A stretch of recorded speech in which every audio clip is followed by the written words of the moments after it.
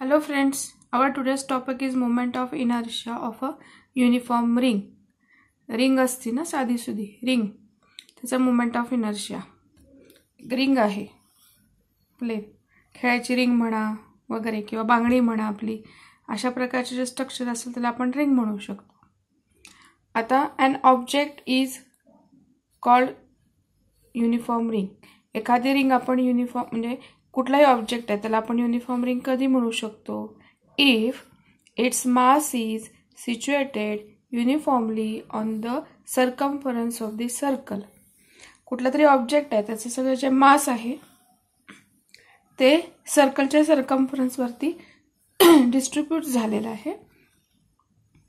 अशा ऑब्जेक्टला आपण काय म्हणू शकतो? युनिफॉर्म रिंग आणि इन दॅट केस आपला जो ॲक्सिस आहे तो त्या सर्कलच्या प्लेनला परपेंडिक्युलर असणार.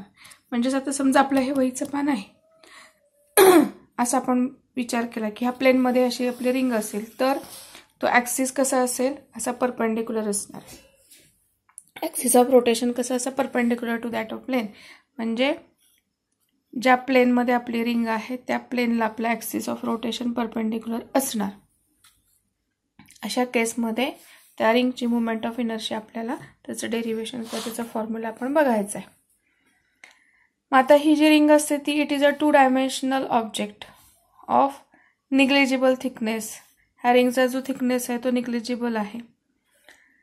The ring is rotating about its own axis and axis is perpendicular to its plane of and plane passing through its centre. ठीक आहे? असं. The entire mass entire mass M is practically at the distance equal to its radius ॲक्सेसपासून त्याचे mass आहे R एवढ्या डिस्टन्सवरती आहे. ठीक आहे? बघा पुन्हा मी रिपीट करते. Ring is rotating about its own axis तो ॲक्सिस कसा आहे? Axis is perpendicular to its plane and axis passing through its centre ठीक आहे? हा ॲक्सिस इट्स एंटायर मास त्या रिंगचा entire mass M is practically at a distance equal to its radius त्याचे mass आहे ते रेडियसच्या इक्वल एवढे असं इथे ॲक्सिस ऑफपासून जो आहे ॲक्सिस ऑफ रोटेशन त्याच्यापासून युनिफॉर्मली सिच्युएटेड आहे. अशी आपण रिंग म्हणू शकतो.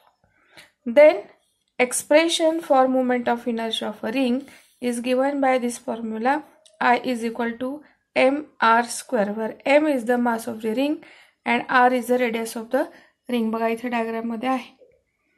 ठीक आहे? So this is the expression for moment of inertia of uniform ring हे झालं त्याचं डे स्मॉलमध्ये आता हा फॉर्म्युला आहे ह्याच्यावरती प्रॉब्लेम विचारतात. त्याचं डेरिवेशन सहसा विचारत नाही. तर प्रॉब्लेम्स आपल्याला असतात. मग त्यावेळेला हा फॉर्म्युला यूज करायचा. नेक्स्ट पॉईंट आहे तो moment of inertia of uniform disc आता युनिफॉर्म डिस्क म्हणजे काय? तर डिस्क ही आपल्याला डेफिनेशन टेक्स्टबुकमध्ये दिलेली आहे. त्यानुसार disc is two dimensional circular object of negligible thickness disc आपण कसं कुणाला म्हणू शकतो? It is a two dimensional circular object of negligible thickness आता पुन्हा युनिफॉर्म म्हणजे काय? तर if its mass per unit area and its composition is same throughout then it can be seen as a uniform म्हणजे mass per unit area आणि त्याचं composition same आहे throughout अशा ह्याला अशा वेळेला आपण ते युनिफॉर्म म्हणू शकतो. मग आता सिग्मा हे लेटर आहे ते सिग्मा आहे. Is equal to mass upon area म्हणजे मास पर युनिट एरिया त्याला आपण काय म्हणू शकतो? सरफेस डेन्सिटी आता डिस्क म्हणजे काय? तर disc can be considered to be number of concentric rings of increasing radii. Radius कुठून इन्क्रीज होणार आहे? फ्रॉम झिरो टू आर म्हणजे जर आपण इथं पॉइंटला एक रिंग काढली त्याच्यानंतर थोडीशी मोठी रिंग काढली त्याच्यानंतर थोडी मोठी रिंग त्याच्या बाहेर पुन्हा आणखीन रिंग अशा रिंगवरती रिंग रिंगवरती अशा चिट त्याला एकमेकाला चिटकून चिटकून भरपूर जर का रिंग आपण विचारात घेतल्या की ज्यांचा थिकनेस व्हेरी व्हेरी स्मॉल आहे तर त्यानुस त्या चिटकवल्यानंतर आपल्याला एक डिस्क मिळू शकते. म्हणून डिस्कची डेफिनेशन इथं दिलेली आहे टेक्स्टबुकनुसार. So disc can be considered to be a number of concentric rings of rings कशा आहेत तर? रेडिया रेडियस त्यांचा इन्क्रीज होतोय कुठून? फ्रॉम झिरो टू आर इथल्या रिंगचं रेडियस कमी असणार झिरो आणि ही जी बाहेरची रिंग विचारात घेतली तर तिचा रेडियस आर असणार आहे. So radius increasing from zero to R. आता ही छोटी छोटी आपली रिंग आहे त्यातली एक आपण एलिमेंटल रिंग आपण कन्सिडर करायची एक रिंग छोटीशी. त्या रिंगचं मास स्मॉल आहे म्हणल्यानंतर D M is the mass of this single ring ही जी रिंग आहे छोटीशी जी आपण एलिमेंटल रिंग कन्सिडर करतोय तिचा रेडियस आर स्मॉल आर त्या रिंगचा थिकनेस डी आर किंवा विड्थ पण म्हणू शकतो. So D R is the width of the ring मग area of a ring is given by A is equal to two pi R into D R R हा झाला त्या रिंगचं radius D R काय झाला?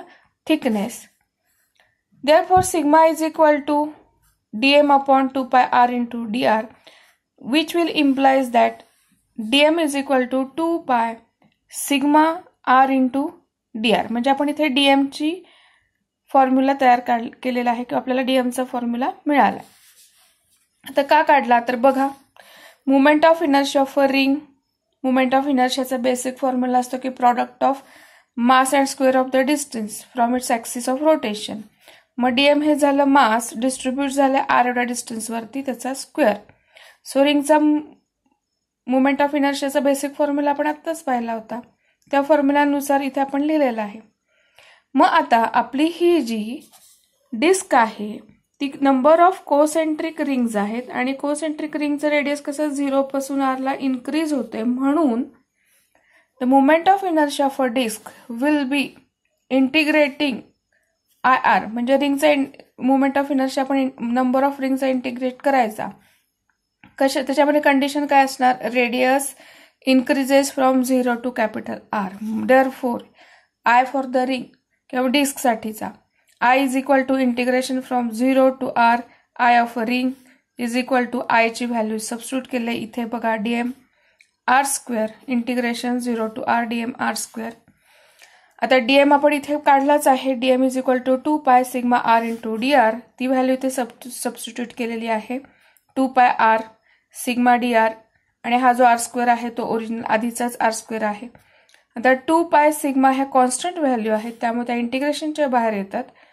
व्हेरिएबल टर्म आहे ती आपली आर आहे therefore integration zero to R R cube D R आपले इंटिग्रेशनचे स्टँडर्ड रूल्स आहेत ते आपण इलेव्हन्थ स्टँडर्डमध्ये लर्न केलेत ते अप्लाय केल्यानंतर आपल्याला हे इंटिग्रेशनचं सोल्युशन किंवा फायनल फॉर्म्युला काय मिळतो? तर two pi sigma R raise to four upon म्हणजे R S to four upon four आणि हे लिमिट्स आहेत लोअर लिमिट आणि upper limit zero to R आता हे लिमिट सबस्टिट्यूट केल्यानंतर फायनल सॉल्व काय होतं तर टू पाय सिग्मा जो आहे तो M upon pi R square area mass upon area into हा आपला आर एस टू फोर कारण फायनल आर आहे.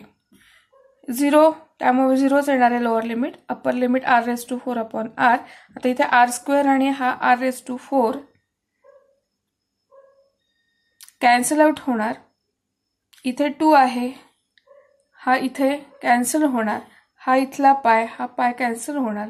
आणि मग आपल्याला फायनल जो फॉर्म्युला मिळतो डिस्कसाठीचा moment of इनर्शियाचा one half M R square so finally आपण समराईज काय करू शकतो? Moment of inertia for the disk is equal to 1 half m r square and moment of inertia for the ring is m r square where m is the mass and r is the radius.